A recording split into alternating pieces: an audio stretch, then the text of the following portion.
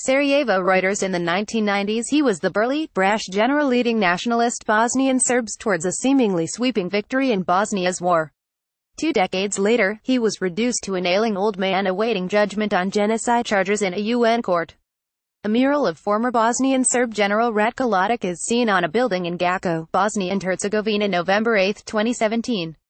Picture taken November 8, 2017. Reuters. Ruvica United Nations Tribunal ICTY in The Hague will issue its verdict for Ratko Mladic, 74, on Wednesday in one of the highest-profile war crimes cases since the post-World War II Nuremberg trials of Germany's Nazi leadership.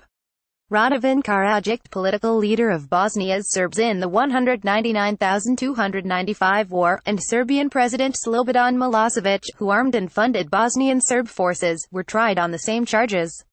The ICTY convicted Karadzic in 2016 and jailed him for 40 years.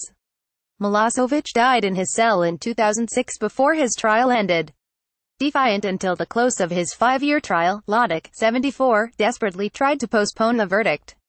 His lawyers persistently accused the ICTY of denying him proper medical care. They asked for him to be treated in Serbia or Russia, but were rebuffed. Prosecutors requested a life sentence for the man who critics called the butcher of Bosnia.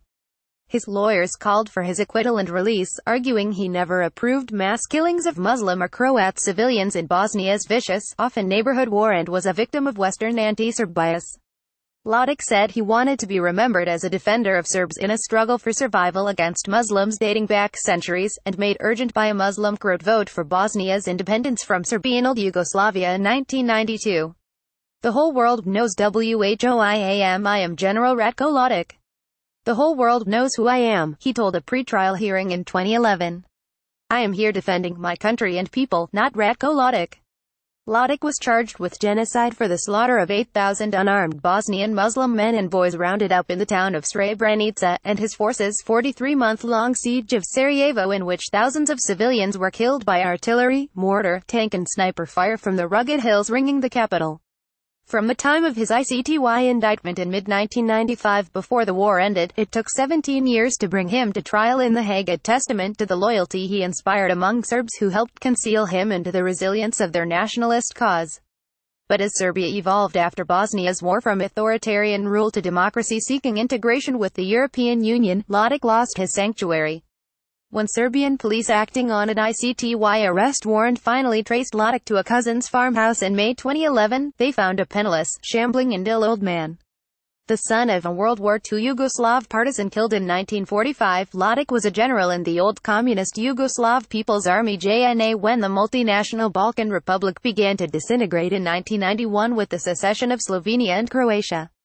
When Bosnia's Serbs rose up in response to a referendum for independence by Muslims and Croats, Mladic took over Belgrade's forces in Bosnia which swiftly overran 70% of the country with a combination of daring, ruthlessness and brutality.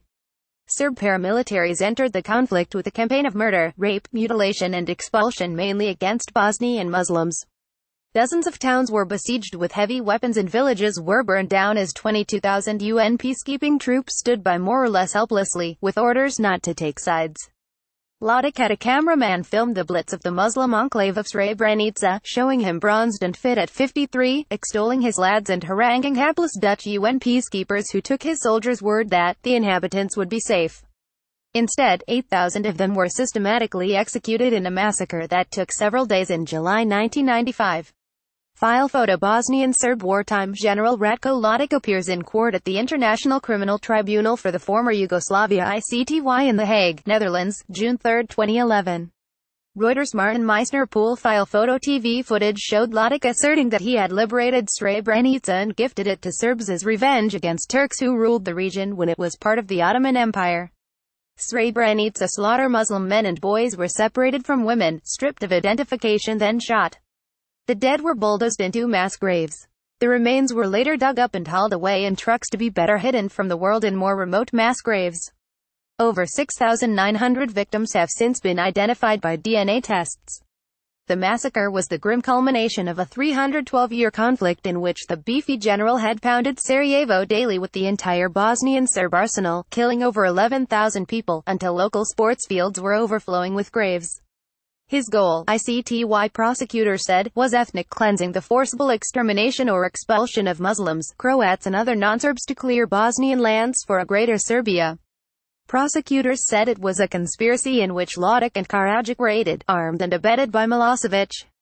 Only a combination of Western pressure and covert American arms and training for Croats and Muslims turned the tide in 1995 against Mladic's army, ultimately depriving it of equipment and fuel supplies from Serbia. NATO airstrikes did the rest. He spent only half his time at large as a hunted fugitive. Even after Milosevic fell to a pro-democracy uprising in 2000, Mladic remained well protected in various Belgrade apartments until 2005. He received treatment at a top military hospital. Sporadic sightings put him at a Belgrade horse racer soccer match. When finally arrested in the shabby rural farmhouse, he put up no resistance. His right arm was lame, the apparent result of an untreated stroke. His trial had to be delayed over and over because of his shaky health. Yet in court, Mladic grinned as a judge read out the charges of genocide, war crimes and crimes against humanity. Srebrenica massacre survivors attending one hearing were shocked when he made a throat-slitting gesture towards a Muslim woman who had lost her husband, son and several brothers. In 2014, he refused to give evidence in support of old ally Karadzic, calling the tribunal a satanic court.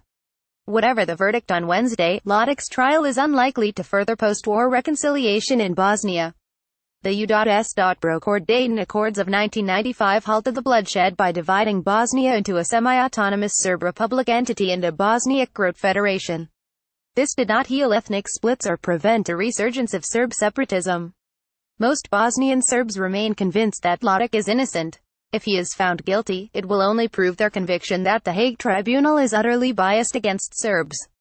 I am a very old man, and I am not important, Mladic told the tribunal. It matters what kind of legacy I will leave behind, among my people.